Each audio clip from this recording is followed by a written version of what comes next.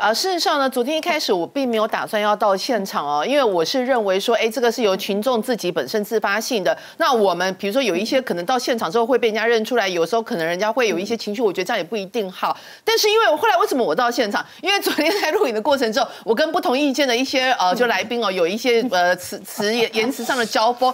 主要交锋点是什么？第一点就是他们认为。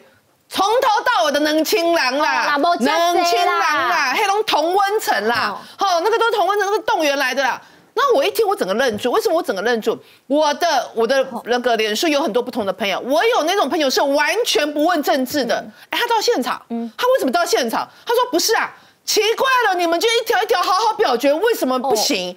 为什么你要用所谓的国会改革之名，掩护你们立法委员黑箱违宪滥权之实，然后还增效哎，把我们所有的民意好像当做我们是白痴，我们都不会在意，我们其实都不会管啊，你们再呼噜过去就算了，哦好像你们都没有行为能力，都是人家叫你去一样。对，所以后来我就一我就整个人就火起来，因为我觉得就是说，事实上过去民进党八年执政，很多人对民进党不爽，我自己本身在在相关的投票里面，我也没有投给民进党。但是为什么连这一次连我都那么生气？因为你们竟然蓝白把所有这个认为你们藐视民意的声音视为是绿营啊，动用他们的权利，然后让这些所谓的侧翼站出来，不是哎，这些人是侧翼吗？我后来走到现场去看的时候，我才过一个马路，遇到一个年轻人，就这个年轻人，哎，我戴口罩，他马上就认出我，然后他跟我说，哎。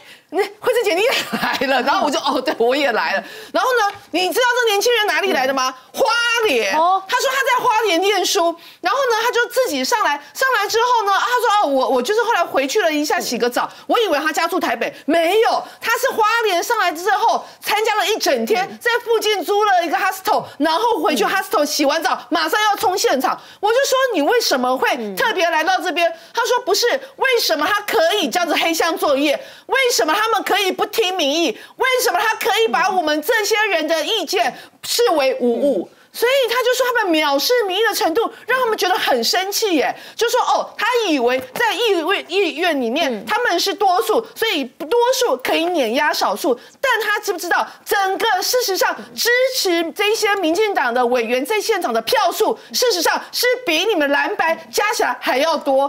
不管多或少，这些立法委员在现场就是代表着民意。你怎么可以把这么多的民意视为无物？全台绝无仅有政论妇女党上攻上一夫。大家好。刻在我心里的，忘记了。